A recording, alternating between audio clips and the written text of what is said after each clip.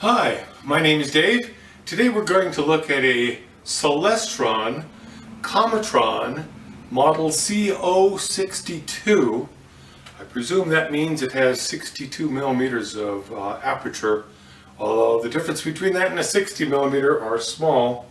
Focal length 300 millimeters, little short, cute telescope.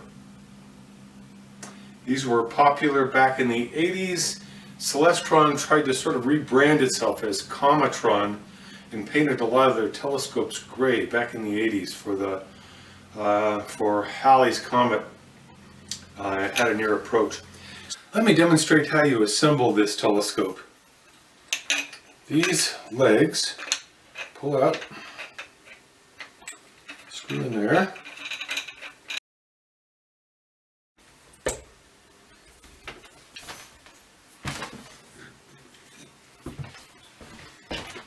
Telescope.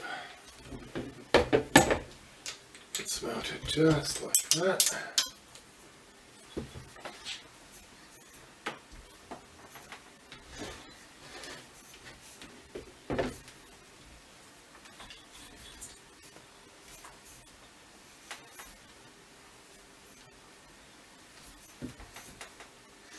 This doubles as a counterweight and a handle. This is pretty heavy. You can't probably detect that, but it's pretty darn heavy, so it acts as a counterweight also. This goes in here. So now the little Cometron is assembled.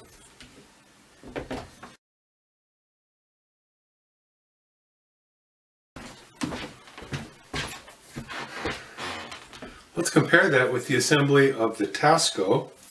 This is much easier. Boom, boom, boom. That's all there is to it for the Tasco. Much simpler.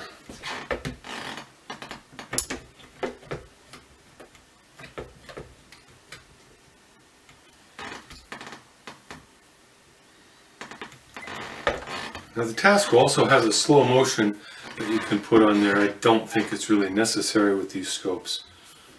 Although it's kind of nice. But the main thing is, this thing assembles a lot faster. I wish the Celestron had been made this way. Because uh, that's quick, quick and easy. This is a chore. Tasco uses a 965 adapter that screws right in here. This comes with the outfit. And then you have 965 eyepieces. Unfortunately, the the optics back here, the eyepieces and so forth that come with the Tasco are not very good. Um, you can, this is a standard Vixen adapter. I think it's 36.4 millimeter, whatever. It doesn't quite thread in properly, but it goes in far enough that you could probably make it work if you wanted to. Then you could use an inch and a quarter diagonal and get your Televue Nagler and put it in there perfect companion for this. I'm joking. anyway, it's a little overkill to put in an eyepiece that's worth three or four times the, the value of the telescope. But uh, what the heck, you could use better quality eyepieces, inch and a quarter eyepieces. Uh, this comes with a 25 millimeter Kellner. Not a great eyepiece, but not bad. Uh, and you can, the nice thing about this is with the inch and a quarter adapter, you can get, you can use your Naglers or whatever you want, your high quality inch and a quarter eyepieces with this little telescope. Not sure that you would want to, but you can do that. How are the optics in these telescopes? Well, that's a valid question. I'm, I'm afraid you're kind of barking up the wrong tree if you're asking it though, because neither of these telescopes is going to give you a superb optic. Okay, if you want to talk about optics, now we can talk about optics.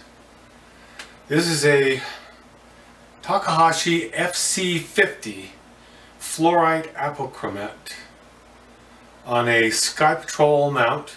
The Sky Patrol mount can be reconfigured to be equatorial. It also has beautiful tracking. The fluorite optics in this Takahashi are capable of going way up there in power. You can crank this baby up. I've got it loaded with a Televue Nagler right now. You're not going to have any problems with chromatic aberration with this scope. This scope, if you take it up to uh, anything above maybe 75 power, 100 power certainly, it's going to start to start to show a lot of color. Uh, it's not going to be a, a great telescope for real high power views. It's a good little telescope, nothing wrong with it. This is a beast. It's a little bit like putting a slingshot against a Sherman tank. This is going to win, even with smaller aperture, much higher quality. I hope you've enjoyed having a look at the Celestron Cometron telescope from the mid-80s. Thank you very much for watching.